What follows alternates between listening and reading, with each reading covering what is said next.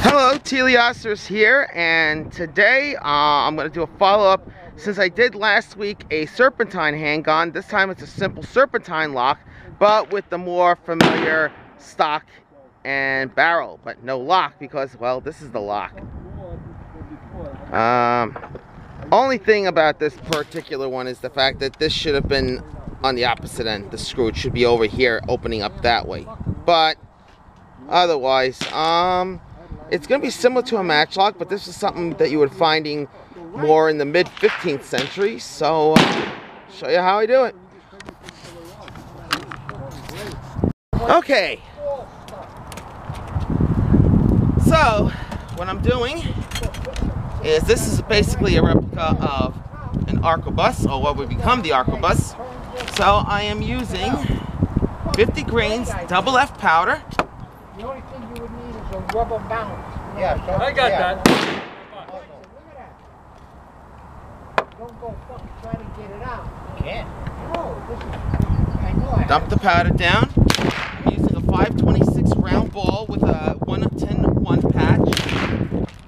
It is a bit windy here today, so gotta be a little bit careful. Now, even though it's, I don't want to, you know, for safety reasons, you never have head over this because if you fired before, which I had before because this is a take two, but um, you don't want to have your hand in case the thing goes off accident. Okay.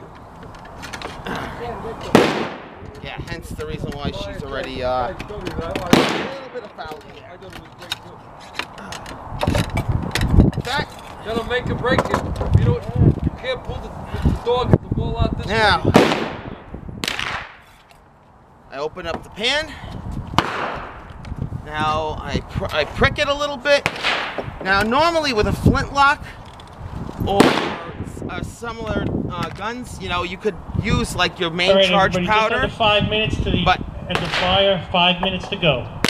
But because with matchlocks, they're kind of finicky, they like finer grain powder. Even then, like with the, when they had the apostles and everything, you always had a bottle for priming powder, which was finer.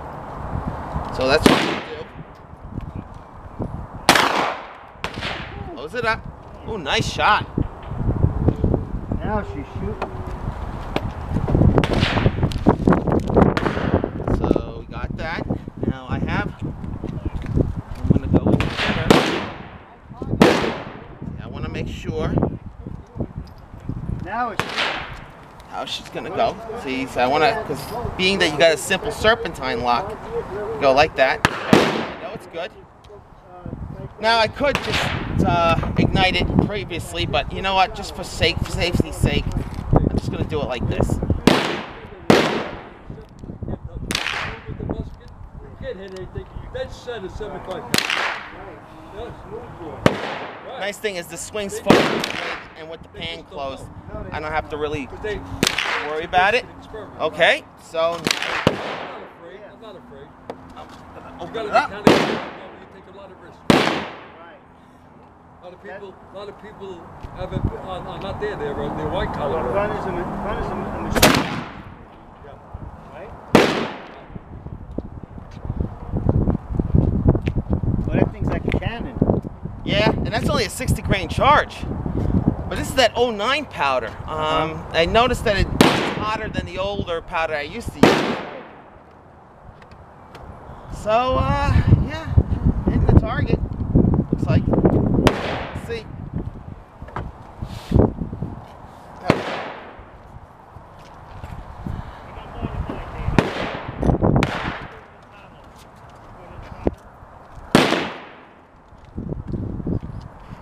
Oh. All right, this is from my Facebook people. This is a little bit, more, a couple of decades higher from the one I shot last week. This is still a serpentine, but it's got the lock in the barrel. That's more familiar. This is more of a mid 15th century uh, gun, 54 caliber small. And I'm gonna ignite the slow match. It's a bit windy, so Now I got the pan closed.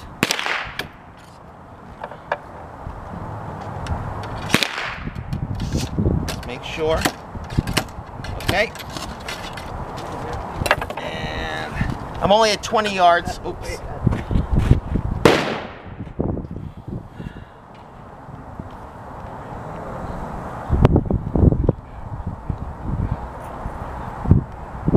Not hitting it.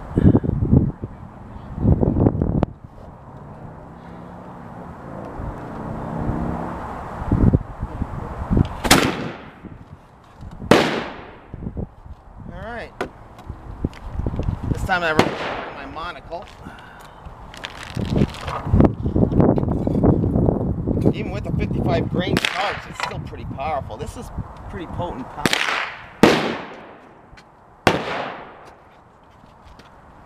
Okay, I shot a little high. All right. Just show you how it was with the mid 1500s, uh, 15, 1400s, mid 15th century. And uh, see you later. All right.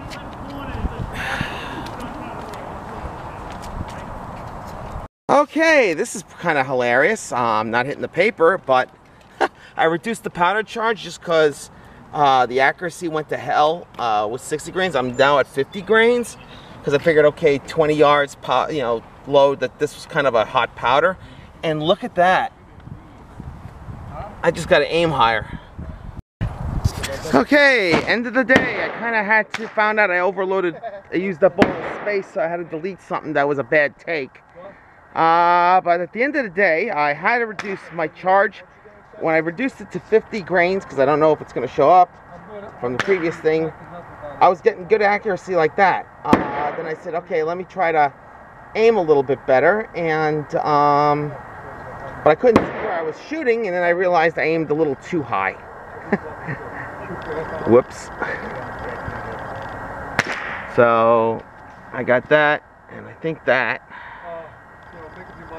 So uh, that's about it. Um, strange day, but oh well. 50 grains she seems to like better with that powder. Otherwise, she was all over the place. Okay, that's it. Uh, till next time, hopefully the weather will be cooperative. Uh, have a good one. Bye.